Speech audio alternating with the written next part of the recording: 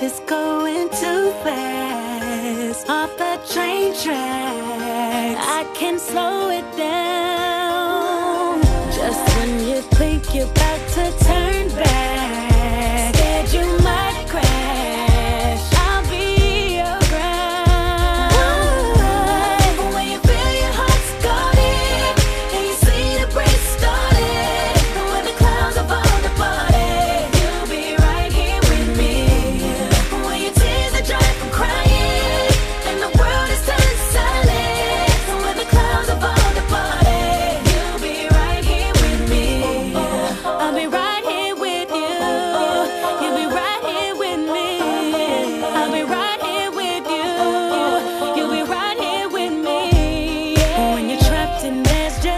Okay.